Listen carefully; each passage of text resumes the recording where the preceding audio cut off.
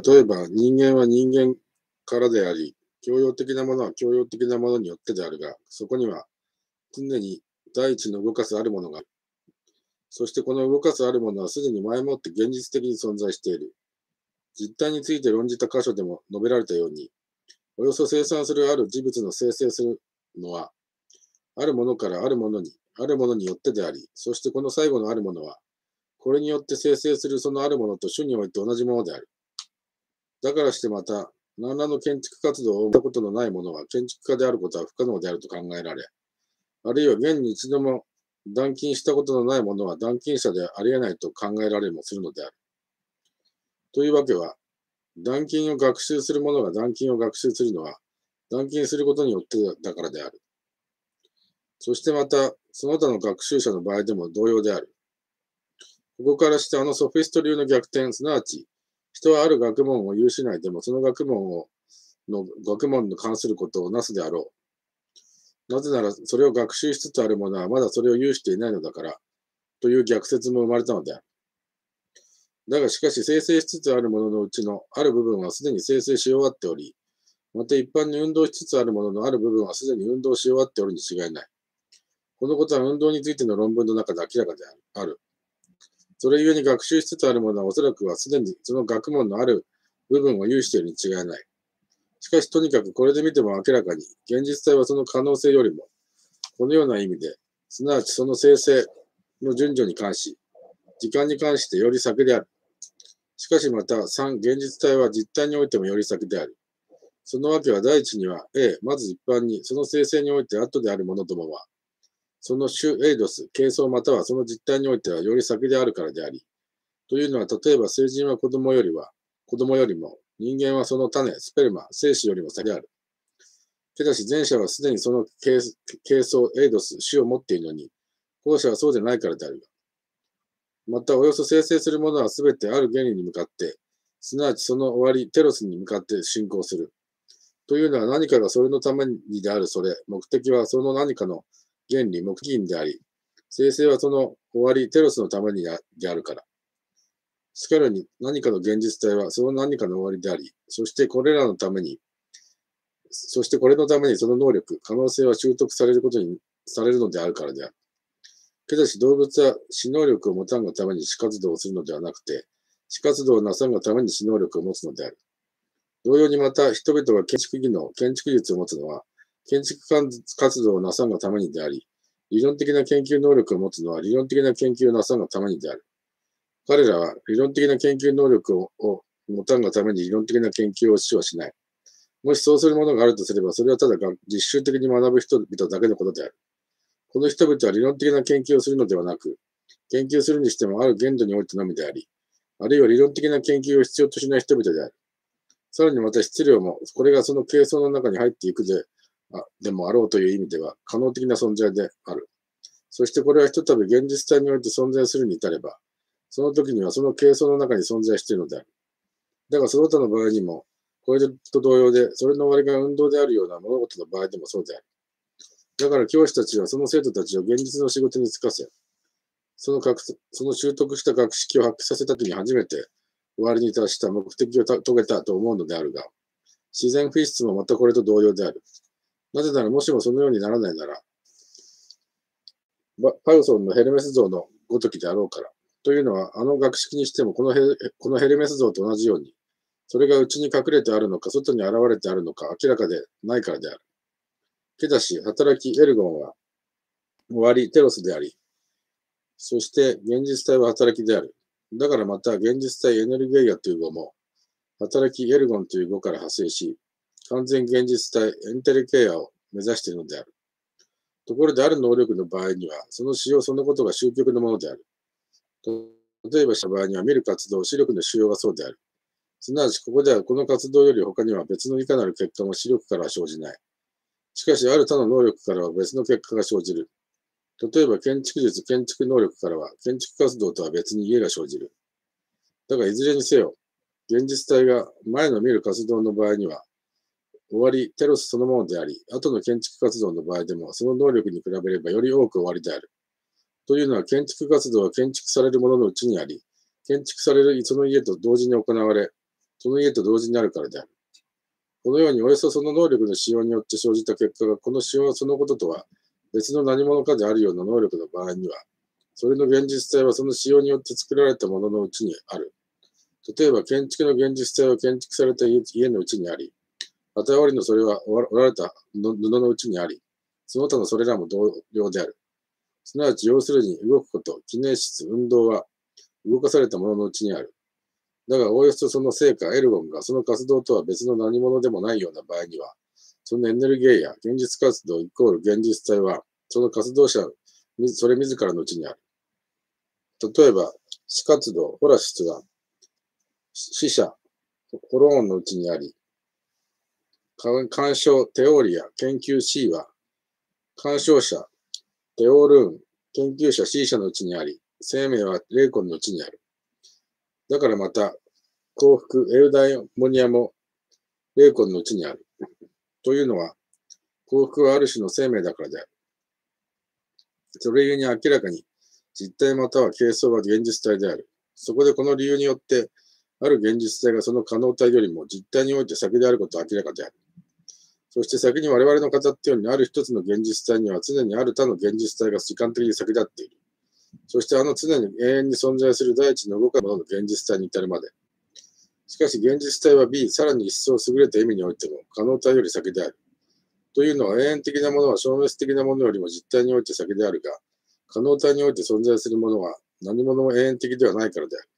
その理由はこうである。およそ可能体は相互に矛盾する両項への同時的可能体である。というのは何者かのうちに現存することの可能的でないものは、何者のうちにも現存しはしないが、そうすることの可能的なものが必ずしもことごとく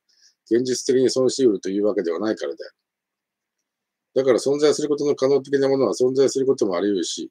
存在しないこともあり得るものである。すなわち同じものが存在することの可能的なものでもあり、存在しないことの可能的なものでもある。ところで存在しないことの可能的なものは存在しないことのあり得るものである。しかるに存在しないことのあり得るものは消滅的なものである。ただしそのあるものは端的に消滅的であり、他のあるものは、このものがある意味では存在しないこともあり得る。すなわち、何々であらぬこともあり得ると言われるその意味では、すなわちその場所に関して、またはその性質とか量とかに関して消滅的である。そして端的にというのは実体に関してである。だからして端的に不滅なものどもは、いずれも端的には可能体において存在することのないものである。もちろん端的にだ、端的にでなしにある他の、ある他の意味で、すなわちその性質とか場所とかに関して、この不滅なものが可能体においてあることを何も妨げはしない。こうして不滅なものもものどもは全て現実体において存在する。なおまた必然性によって存在するいかなる事物も可能体において存在することはあり得ない。しかるにこうした事物は大地のものである。なぜならこれらが存在しなかったらいかなる事物もないであろうか。それゆえにここでも現実体が可能体よりも先である。なおまた運動ももし何か永遠的な運動があるとすれば、こうした運動も可能体において存在するものではない。もうまたもし何か永遠的な動くものがあれば、これも他のいかなる可能性に従って動くものものでもなく、ただただどこからどこへという場所的転化の質量があるだけである。そしてこの永遠的な動くものがこの意味での質量を持つことには何の妨げもない。こうして太陽や星や天界全体は常に現実的に活動しているのであって、自然学者たちの恐れているように、それらがいつ静止しはしないかという心配はない。またそれらはそうした活動をしても、こうした活動をして疲れもしない。なぜならその運動はそれらにとっては消滅的なものどもにとってとは違い、前矛盾する物事への可能性に関わることではないので、その運動がいくら運動しても、いくら連動しても苦労なことではないからである。けだし、そうした苦労の原因は質量であり、可能体である限りの、限りでの実体にあるのであって、現実体にではないからである。それら不滅なものども、また天下のうちにある諸事物が、例えば土や火が模倣しているというのは、これらもまた常に現実的な活動をしているからである。けだし、これらはこれら自らのうちに、これら自らによる運動を持っているからである。しかし、その他の可能体はいずれも皆先の規定によると、相矛盾する物事へのそれである。というのは何を、何をこれこれの仕方で動かすことの可能なものは、何かをこれこれの仕方で動かすことの可能なものは、それをこれこれでない仕方で動かすこと可能であるからである。ただし、このことは理性に従う能力での場合にである。非理性的な能力の場合には、この能力が現在しているか否かによって、この同じ能力が相矛盾する結果を生み出し得る。それゆえ、もしもあの概念規定をこととする人々がイデアと呼んでいるような、ある何らかの実在、不質、または実体があるなら、学問それ自体というイデアよりもはるかに一層多く学問的な何者かが存在し、運動それ自体よりも一層多く運動している何者かが存在しているというようなことになろう。というのは、これらのものの方がむしろ一層多く現実体であって、あれらのイデアどもはかえってこれらのものへの可能体にたるに過ぎないからである。さて、それゆえに現実体が可能体よりも先であり、天下の原理のいずれよりも先であることは明らかである。第9章。さて、現実体が良い可能体よりもさらに一層良くあり、さらに一層貴重であるということは次のことどもから明らかである。けだし、ある何かの可能な可能なものと言われるものは全て等しく、その何かとは反対の物事も可能なものである。例えば、健康であることの可能なものと言われるものは、病気であることの可能なものと同じものであり、しかも同時にこれら相反する可能体を持っている。というのは、同一の可能体が健康であることの可能体でもあれば、病気であることのそれでもあり、静止することのでもあれば、運動することのでもあり、建築することのでもあれば、破壊することのでもあり、建築されることのでもあれば、倒れることのでもあるからである。ところで反対の物事への可能性は確かにこのように同時にその同じ可能的なものに存続している。しかし反対の物事それ自らは同時に現存することは不可能不可能であり、またそれらの現実体、例えば現に健康であることと病気であることと、も同時に存続することは不可能である。したがって必然的にこれらのうちのどちらかは良いものである。しかるに、その可能体は等しくそのどちらでもあるが、あるか、どちらでも、どちらでもないかである。どちらでないかである。それゆえに現実体の方が一層良い。そのようにまた必然的に悪い物事の場合には、それの終わりテロス、すなわち現実体の方が可能体よりも一層悪い。というのは可能的であるものは同じものでありながら悪い方だけでなく、相反する両方であり得るからである。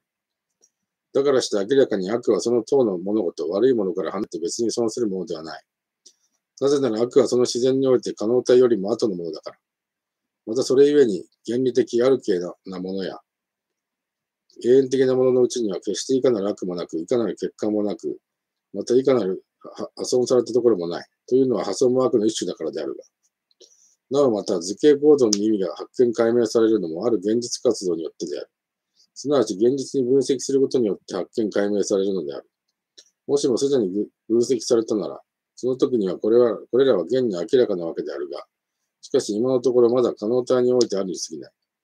そこでこの三角図形についてみるに、何故に三角形の内角の和は二直角に等しいか。それは一つの点をめぐる角が二直角に等しいからである。そこでもしもこの点に対する辺に平行した線が、すでにこの点から上の方に引かれたなら、その時にはその何故でに、その何故にであるかは、これを見る者には直ちに明らかであろう。次にこの半円図形についてみるに、半円においてその直径の上に立つ角が一般に直角であるのは何故にであるか。ここでもまた、もしもこの3つの線が、すなわち底辺をなす2つの線と中心から垂直に立てられた線とが等しなら、その何故にであるかは、これを見る者には先のこと、三角形の内角の輪が二直角に等しいことを知っておりさえすれば明らかである。こうしてそれゆえに可能体においてある図形構造の意味は現実体に導き出されることによって発見解明されるということ明白である。そしてその理由は導き出す幾何学者の C がすでに現実体であるからである。従って可能体はある現実体から出てくるのである。そしてこのゆえに、この、このこのゆえに人は自ら、ある図形構造を作ってみることによって、その構造の意味を現実に認識しているものとなるのである。けだし発生順から言えば、現実体は数においては可能体よりも後であるから。第10章。事物がある、あるいは存在と言われ、またあらぬ、あるいは非存在と言われるのは、まず、術後の諸形態についてであり、次にはこれらそれぞれの可能体と現実体とにおいて、またはその反対、すなわち非可能体と非現実体とにおいてであり、そして第三には真としてまたは義としてである。そしてこの第三の場合は、そう言われる等の物事において、この物事が結合されているか分離されているかに依存している。したがってその物事において分離されているものをその通りに分離されていると考え、結合されているものを結合されていると考えるものは真を言うものであり、当の物事がそうある通りにそうある通りにでなしに、その反対を考える者は義を言うものである。そうだとすれば、真と言われるものは、または義と言われるものがいつ存在しており、いつ存在していないか。これらを我々は何と解するか検討しなくてはならない。けだし、君が色白くあるのは、我々は君が色白くあると真に思うがゆえにではなくて、かえって君の色白くあることのゆえに、このことを主張する我々が真であるのである。ところで1、A、ある物事は常に結合されていて、分離されていることはあり得ず、B や、ある他の物事は常に分離されていて、結合されていることはあり得ないが、C、ある第三の物事はこれら相反する両者、結合と分離のどちらでもあり得るとすると、ここであるというのは結合されてあり、一つであること、あらぬというのはそう結合されてあらず、一つより多くあることであるが、そうするとどちらでもあり得る物事、真の場合については、同一の判断や同一の立言が、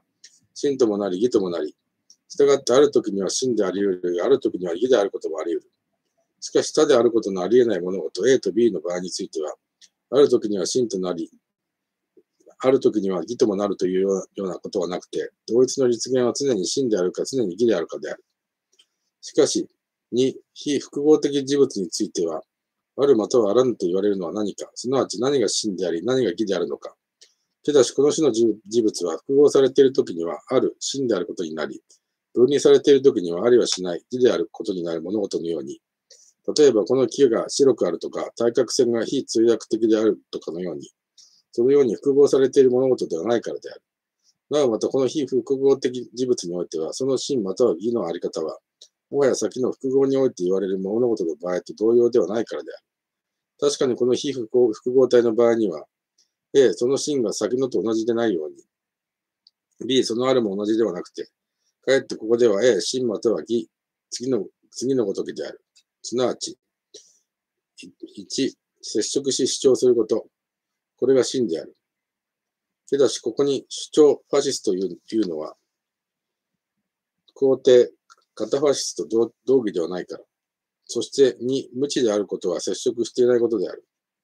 けだし、なぜ義で、義と言わないで無知というかというに、そのわけは、およそ事物の何であるかについては、誤るということはあり得ず、あり得るのはその属性においてにおいてに過ぎない。それこれと同様のことは非複合的諸実体についても言える。というのは、これらについても誤ることはあり得ないからである。そしてこれらはすべて現実体において存在し、可能体においてではない。